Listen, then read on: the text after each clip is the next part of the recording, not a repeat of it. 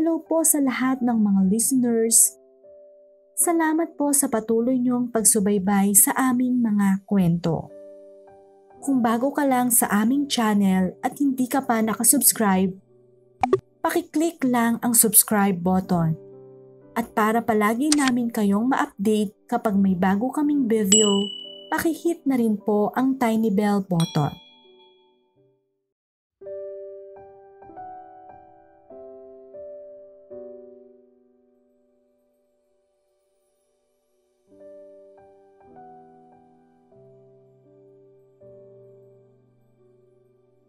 Masarap magmahal, lalo na kung mahal ka rin ng taong mahal mo. Pero minsan, nakakabulag ang sobrang pagmamahal. Hindi mo kasi makikita kung ano ang tama o mali. Basta ang alam mo lang nun ay masaya ka. Kaya sa bandang huli, pagsisisi ang ating masasabi. Tulad ng isa nating letter sender Nabulag siya sa sobrang pagmamahal niya kaya hindi niya namalayan na niloloko lang pala siya nito. Pakinggan po natin ang kwento ng isa nating letter sender. Magandang gabi po sa lahat ng inyong mga listeners. Nais ko lang ibahagi ang aking kwento para kapulutan ng aral ng inyong mga tagapakinig.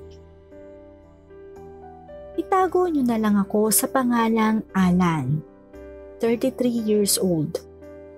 Nagtatrabaho ko bilang isang chef sa isang restaurant sa Bicol.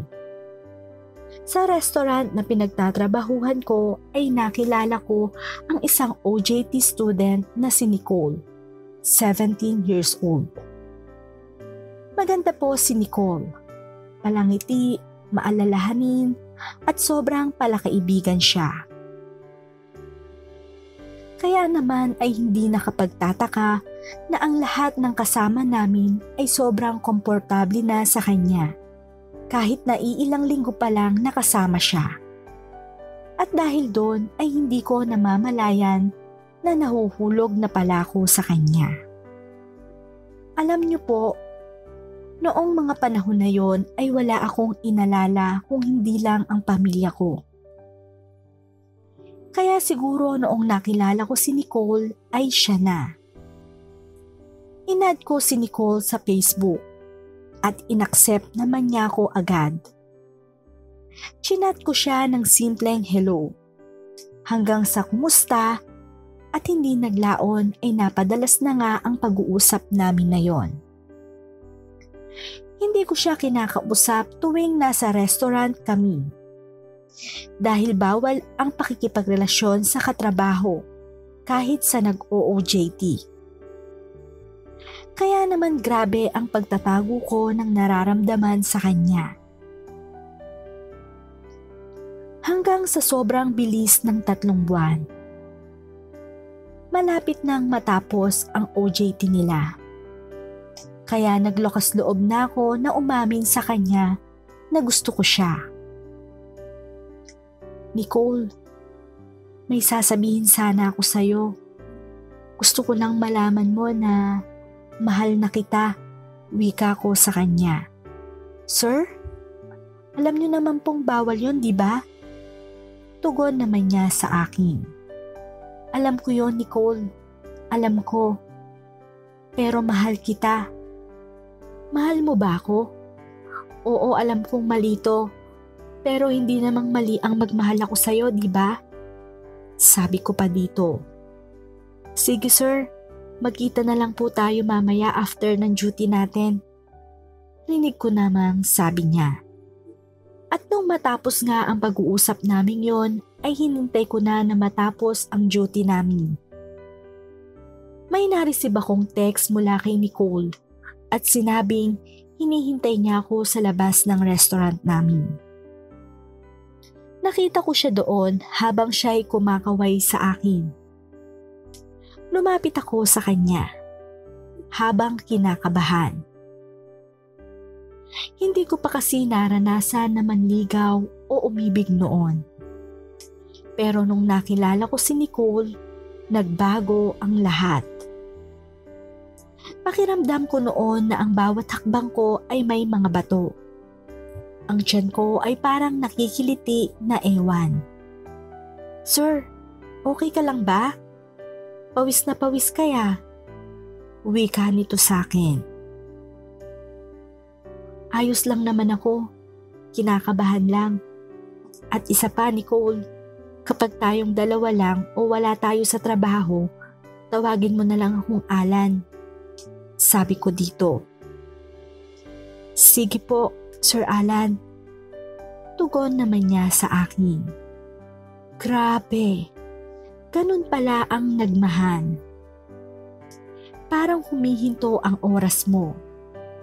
Parang kayo lang dalawa ang nasa mundo. Alam nyo, labis-labis ang saya ko ng gabing yon. Dahil nung gabi lang na yon ko naranasan at naramdaman ang ganon. Ito na siya. Nakita ko na ang para sa akin nakita ko na ang nararapat sa akin. Nakita ko ang taong pakakasalan at makakasama ko habang buhay. Pero hindi pa doon natapos yon. Niligawan at sinuyo ko siya. Hatid sundo ko siya sa paaralan niya. Apat na buwan ko yon chinaga at dahil doon ay nakamit ko ang matamis niyang oo. Nagsimula ang dalawang linggo namin na puro saya at kilig. Hindi ko maitago ang saya ko at ipinakilala ko siya kay mama at papa. Pero laking gulat ng mga magulang ko na 17 years old pa lang si Nicole at ako naman ay 33. Sa makatuwid, 16 years old ang age gap namin. Nagalit sa akin si mama noon pero ipinaglaban ko ang pagmamahal ko kay Nicole. Pagkatapos noon ay ipinakilala ko ni Nicole sa lolo't lola niya. Lumaki pala siyang ulila at tanging lolo at lola lang niya ang nagpalaki sa kanya. Wala namang naging problema sa side ni Nicole. May tiwala naman sa akin ang lolo't lola niya. Kaya ang laking pasasalamat ko sa tiwalang yon. Ilang buwan kaming hindi nag-usap ni Mama. Takot siya sa mga responsibilidad na pwedeng mangyari daw sa akin. Kaya nung araw na yon ay nagkasagutan kami ni Mama. Mama, mahal ko si Nicole. Siya lang ang mamahalin ko. Wika ko sa kanya. Kahit na anong mangyari, paano kung makulong ka? Sagot naman ni mama. Bakit naman ako makukulong? Wala naman akong ginagawang masama mamaya. Mahal ko lang naman siya. May respeto ako sa kanya. Kaya mama, kung mahal niyo ako, mamahalin niyo rin ang babaeng mahal ko. Sabi ko pa kay mama. At saka ma, tumatanda na ako. Ito lang ang isang bagay na hinihingi ko sana naman suportahan niyo ko. Duktong ko pa sa kanya. Alan, oo malaki ka na. Kaya sana naman ay alam mo na ang tama't mali. Mali na makipagrelasyon sa isang menor de edad. Wika naman sa akin ni mama. Pero ma, mahal ko si Nicole at walang makakapigil doon. Pagpipilit ko dito. Sige, bahala ka. Sundin mo ang gusto mo. Kapag ikaw napahamak, wala akong magagawa. Pananakot sa akin ni mama. Magtiwala ka lang sa akin ma. Hindi ako mapapahamak. Mahal ko talaga si Nicole. Tugon ko naman sa kanya. Natapos ang aming pag-uusap noon Tuwing dinadala ko si Nicole sa bahay namin ay taas kilay palagi si mama. Kaya naman napagdesisyonan ko na ibahay na si Nicole para araw-araw kaming magkasama na hindi naman tinutulan ng kanyang lolo at lola. Noon ay wala namang problema hanggang sa lumipas ang dalawang taon. Nakikita ko ang pagbabago kay Nicole Tuwing sweldo ko ay kinukuha niya ang lahat at halos isang daan na lang ang matira sa akin. Nawawala din ang mga mamahaling bagay na pinundar ko sa loob ng pagsasama namin. At dahil sa pagbabago na yon, napilitan ako na sundan siya noong rest day ko.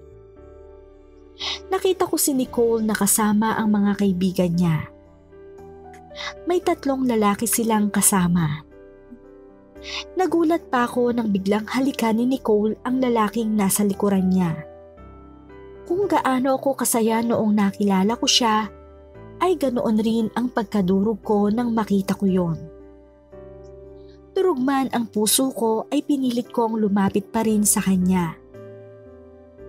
Nicole, sino yung kasama mo? Tanong ko sa kanya. Sino yan babe? Tanong naman ng lalaki na kasama ni Nicole. Wala yan babe. Tara na.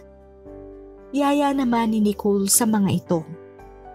Wala naman akong nagawa. Pagkatapos noon ay umalis na sila. Lakas loob akong lumayo. Pikit mata kong inalis sa utak ko ang nangyari. Pinipilit ko sa sarili ko na hindi nangyari yon pumunta ako sa isang bar para uminom ng alak. Nagpakasasa ako sa alak. Sobrang sakit ng ginawa sa akin ni Nicole. Sa kabila ng pagmamahal ko sa kanya at pakikipaglaban ay ganito pa ang igaganti niya. Hinuthutan lang niya ako sa loob ng dalawang taon at anim na buwan naming pagsasama. Itinuring niya lang naman akong ATM sobrang sakit. Nang mahimasmasan na ako ay umuwi na ako sa tinitira namin ni Nicole. Pagdating ko doon ay wala na ang mga gamit na binili ko. Nawala na rin ang mga gamit niya. Hindi ko naman alam kung ano ang mararamdaman ko noon. Sobrang sakit. Unang beses na pagmamahal ko yon at unang beses din na pagkabigo ko. Tama nga si mama. Masasaktan lang ako dahil nabulag ako sa pagmamahal na akala ko ay totoo. Hanggang ngayon ay wala na akong balita kay Nicole. Bumalik na rin ako sa bahay namin. Pagkatapos naman noon ay wala na akong sinubukang ligawang babae. Natakot na kasi akong magmahal muli. Kaya gusto ko po itong ibahagi. Sana wag kayo basta-basta sumunod sa puso nyo. Dahil minsan, ang pinipili ng puso natin ay mali. Hanggang sa muli po. Maraming salamat sa pakikinig ng kwento ko. Nagmamahal, Alan.